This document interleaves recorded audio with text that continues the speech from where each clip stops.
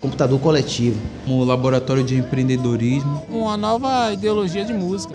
E a gente vai aprendendo no dia a dia. Então, jovens têm aprendizagem nas quatro linguagens: música, ah, rádio, vídeo e design. Aprendi a fazer roteiro, aprendi a fazer locução, aprendi a fazer minhas próprias músicas. Eu estou é, desenvolvendo novas habilidades que eu mesmo não sabia que eu tinha. Com alguns meses de curso, eu já era agente multiplicador da ONG.